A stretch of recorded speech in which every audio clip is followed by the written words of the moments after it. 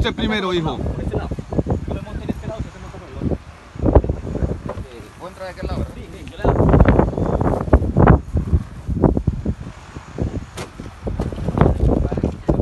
Ahí en los pies de él, páselo a los pies de él.